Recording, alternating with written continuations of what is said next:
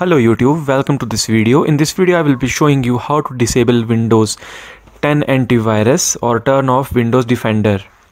It solves following issues such as issues related to software installing process, makes file downloading easy. You can also sideload some uh, softwares from uh, some websites and uh, if you want to do some pen testing purpose and defender is uh, not allowing it to, to do then you can also turn off windows defender. It also makes the ins uh, install of other antivirus program very easy. So in this video i will be showing you how you can turn off windows 10 defender. So the very first thing uh, that you need to do is uh, to go to the settings of your windows 10 click on the start menu and click on the settings icon it will open the settings. Uh, now in here you need to open the update and security menu.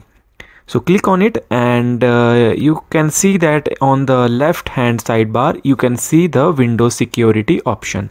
So click on it and it will open up all the options related to virus and threat protection. Click on open windows security.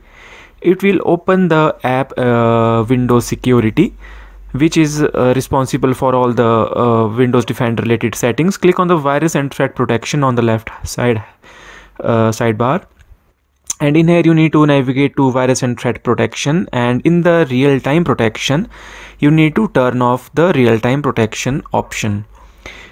So click on the uh, toggle button and you need to enter your admin password and by this you have now turned off or disabled the Windows 10 antivirus program. You can also turn off other prote uh, antivirus protections uh, such as uh, tamper protection or uh, other types of protection which might also mm, be stopping you for from doing some kind of stuff that you are trying to do. You can also turn off the cloud delivery protection. Click on the toggle menu uh, and it will turn off all the protections which the windows defender is providing you. Now once you have turned off all the uh, threat protections you can do all the um, necessary stuff that you are trying to do and windows uh, is not allowing you to.